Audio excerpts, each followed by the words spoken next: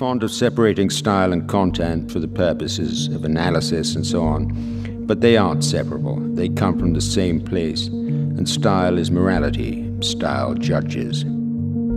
There are many different aspects to style, such as the use of creative devices, diction, grammar, tone, rhythm, cadence, and this is not an exhaustive list. So then, according to Amis, grammar is style, tone is style, diction is style, and in fact, all the literary tools available to and employed by the writer, taken as a whole, are style. And style is morality. Style judges. In studying the history of literature, you find that some of its meatiest and most appealing aspects are literary feuds. Enter William Faulkner and Ernest Hemingway two outstanding writers with two very different and in fact antithetical styles. So, following the thread, these are two writers whose writings contain two very different moralities and judgments of the world. Faulkner is all purple prose, long, ornate, convoluted even. Shaped by his southern Christian upbringing, his writing is almost biblical, or to be more accurate, liturgical. Hemingway, conversely, the cosmopolitan modern man who cut his teeth as a reporter's writing, is short, flitting, concise, pithy in fact, laconic. Part of the so-called lost generation, Hemingway kept company with figures such as Picasso, Joyce, and Zelda and F. Scott Fitzgerald, who of course wrote one of the most brilliant works in the English language, The Great Gatsby. In the introduction to Gatsby, Wordsworth edition, Professor Guy Reynolds writes of Fitzgerald's thematic use of the concept of the flicker of modern life. This same flicker can be captured in Hemingway's writing style, impermanent yet pertinent.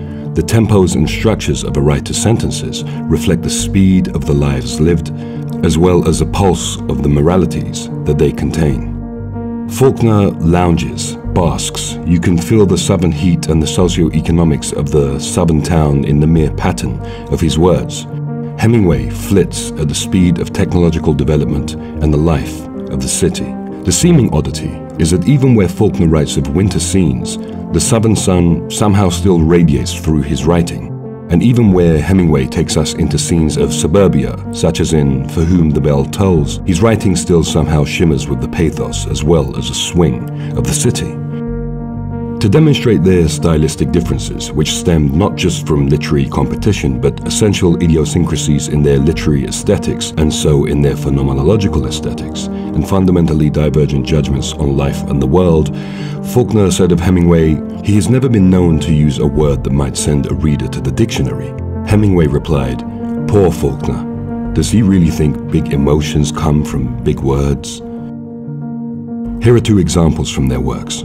Faulkner wrote one of the longest sentences in all of American literature, which comes from his novel Absalom, Absalom, 1936. A single sentence composed of 1,288 words in the 1951 Random House edition, and although this sentence is the extreme example, it is not at all atypical of his writing.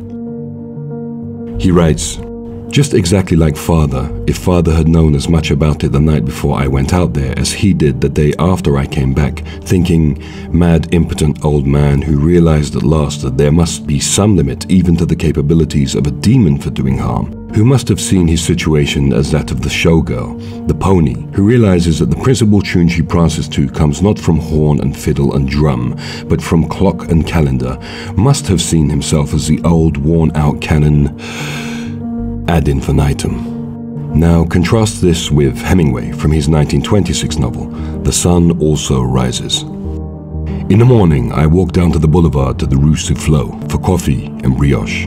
It was a fine morning. The horse chestnut trees in the Luxembourg Gardens were in bloom. There was the pleasant early morning feeling of a hot day. I read the papers with the coffee and then smoked a cigarette. The flower women were coming up from the market and arranging their daily stock. Students went by, going up to the law school or down to the Sorbonne. The boulevard was busy with trams and people going to work. If you ask why these two writers, the answer is because they serve as examples of the two acute ends of the spectrum of sentence structure, and a novel, or even an epic, is made up of nothing but sentences. The sentence can be considered the fundamental unit of a work of literature, not the single solitary word, but the contextualized and unfolded unit of literary meaning. Now, you could argue that the single word is a fundamental literary unit, or, if you're feeling contrarian without substance, even the letter. But the words balcony, pool, autumn, together are linguistic without being literary. In order for them to become literary, you must expand and unfold their chosen meanings so as to make them part of the sentence, such as, The apartment below mine had the only balcony of the house. I saw a girl standing on it, completely submerged in the pool of autumn twilight. She wasn't doing a thing that I could see, except standing there, leaning on the balcony railing, holding the universe together.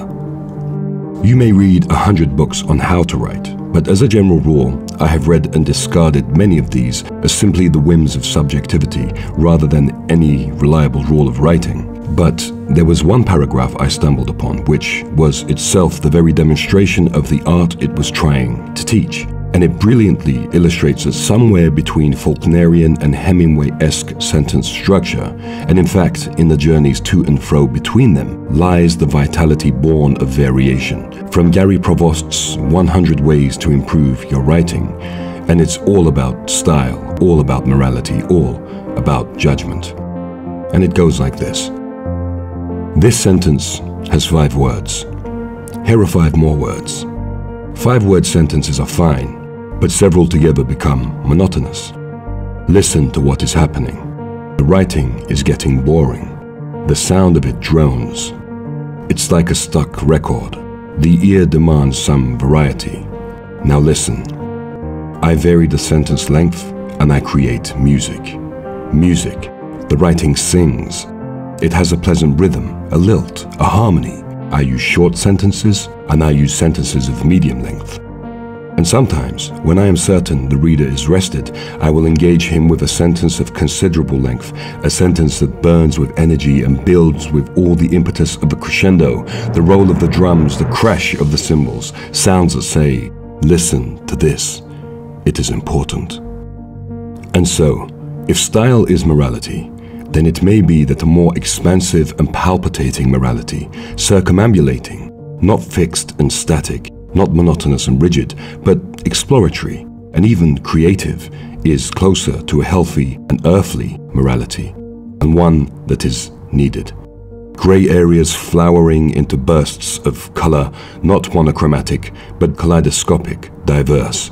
That is the kind that we need in order that we may create, dare I say it, a better world.